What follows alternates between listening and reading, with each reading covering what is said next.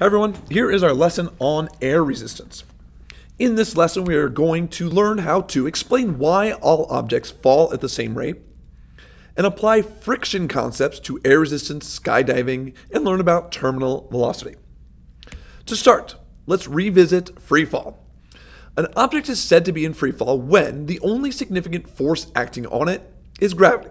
Right? Projectiles are in free fall. Something that's thrown straight up is in free fall. All objects that are near the surface of the Earth experience the exact same acceleration. We know this, right? It's 9.8 meters per second per second down. But why?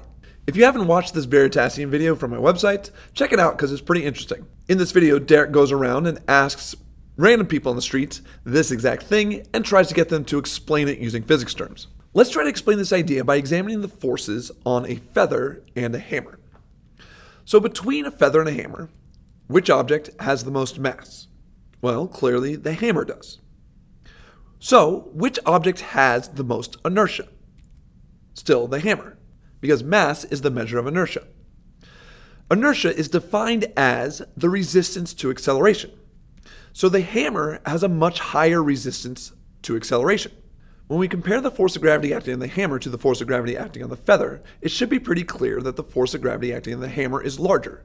However, because that hammer has a much larger resistance to acceleration, a larger force will result in the exact same acceleration when dropped in a vacuum. In essence, the object with a greater mass is pulled down by gravity with a stronger force, but that object also has more inertia or more resistance to that force, and so they will accelerate at the same rate. Remember, Newton's second law tells us that the acceleration is equal to the ratio of force over mass. So, even though the hammer has a much larger force on it, it also has a much larger mass, and so that ratio stays the same. So compare a 1 kilogram object with a 100 kilogram object. The force of gravity on a 1 kilogram object is going to be 9.8 newtons, while the force of gravity on a 100 kilogram object is going to be 980 newtons. Both would result in a 9.8 meters per second per second acceleration. Let's say we had two masses. One is measured to be 100 grams, the other is measured to be 1,000 grams. If I apply the same force on both of these masses, you should be able to tell me that the one with the larger mass will have a lower rate of acceleration. In fact, the rate of acceleration on the larger mass would be one tenth that of on the smaller mass, because the mass of the larger one is 10 times larger. But what if I applied a force on the larger mass that was 10 times larger than the force on the smaller mass? How would the accelerations compare?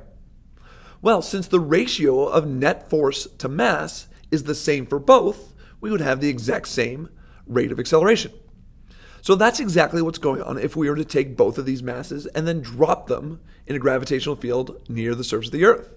Even though this one has 10 times the mass, it has 10 times the force of gravity on it, so our rate of acceleration would be exactly the same. So remember, Newton's law states that the net force is equal to mass times acceleration. Go ahead and try to fill these out on your own, comparing a falling elephant to a falling mouse. So pause here once you're done, click play and check your answers with mine. Of these two animals, the elephant has the most mass, but both accelerate at the same rate. The elephant, because it has the higher mass, will experience the greater force, but it doesn't accelerate more than the mouse because it has more inertia. So when a bowling ball and a feather are dropped in a vacuum, they're both going to drop at the exact same rate. However, this is only true in a case where there's absolutely no air. In most cases, we're going to have to account for air resistance. You don't have to be moving at a very high speed to have experienced air resistance on your body. If you've ever stuck your hand out of a moving car, you've probably felt the resistance that the air has on your flesh. You stick your hand out of the Jeep, that wind pushes your hand backwards.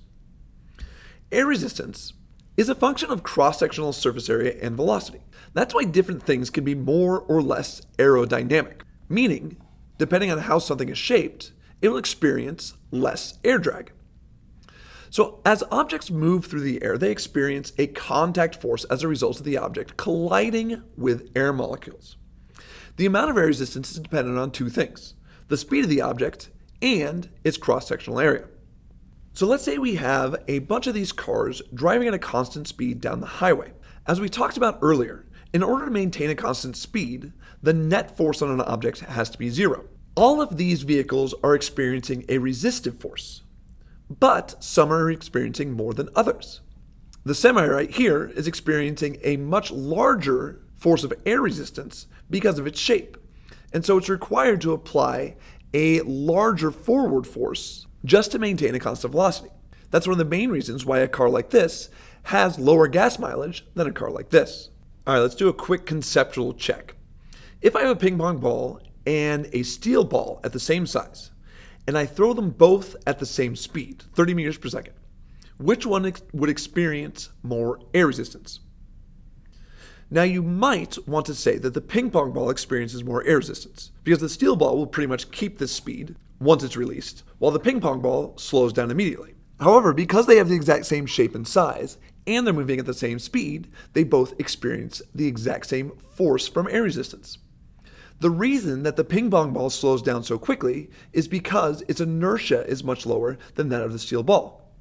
So the resulting acceleration from the same force is a lot larger. Let's take this idea and apply it to an elephant and a feather falling through the air. Which one would experience the most force from air resistance? Now, again, you might be tricked into thinking that the feather has more of a resistive force on it because it slows down immediately while the elephant would speed up continuously. However, because that elephant is larger, right, has a larger size, it actually is colliding with more air molecules per second and so experiences a larger force from air drag. So, using your own words, and try this on your own, explain why if a feather and an elephant were to be dropped from a tall building, the elephant would hit the ground first. It comes down to the size of the gravitational force on each of these objects. The force of gravity on a feather is really, really small, close to zero. So, just a small amount of air resistance would cancel out that force, causing the feather to be in equilibrium and maintain a constant speed. But the force on the elephant is really large, so it accelerates for a long time before the air resistance becomes a significant factor. Now let's look at the consequences of the second variable that affects the amount of air resistance the speed of the object that's going through the air. When a skydiver first jumps out of a plane, their vertical velocity is zero. So the only vertical force acting on that skydiver is the weight. There's no air resistance yet because they're not moving down yet. So their weight is their net force, so they're in free fall and accelerating at a rate of 9.8 meters per second per second. But as they begin to speed up, the amount of resistive force acting on them starts to increase. And so their net force starts to decrease. And remember, net force is directly proportional to an object's acceleration. And so the rate of acceleration starts to go down the faster these skydivers are moving.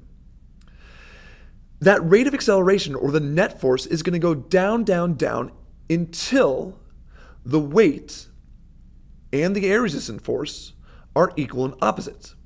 Once that happens, acceleration stops because the net force is zero. This is called a state of terminal velocity meaning that no matter how much longer this skydiver falls, they will continue moving at this exact same speed. In the simplest terms, terminal velocity is the maximum speed of a falling object. And an object hits terminal velocity because the force of air resistance balances out the force of gravity, so that the net force is zero and the object is moving at a constant velocity. Let's next calculate the net force and acceleration of a skydiver from the time he jumps out of an helicopter to the time he hits terminal velocity.